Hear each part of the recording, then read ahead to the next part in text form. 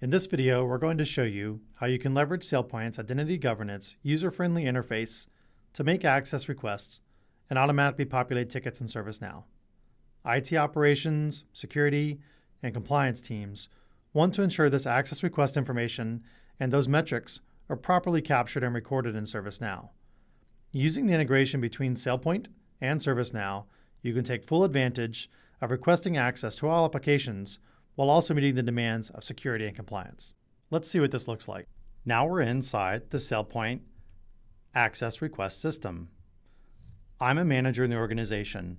I've selected several of the people that fall under me in the organization, and I've chosen to request some additional access for them. In this case, I'm searching all the applications out there and looking for roles that have the word account in them. One of them we've already requested. When we're done with this request, we can click on Next. You'll see line items that show exactly everything in our shopping cart that's been requested. When I'm done, I simply click Submit. Inside here, we'll also receive a note.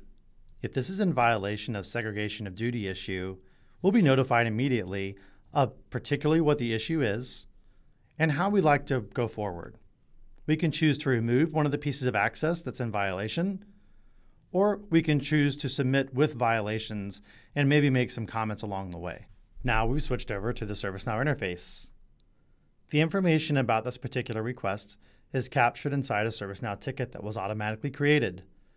As the approval and the SOD violation decisions are made, that information is updated in the ticket.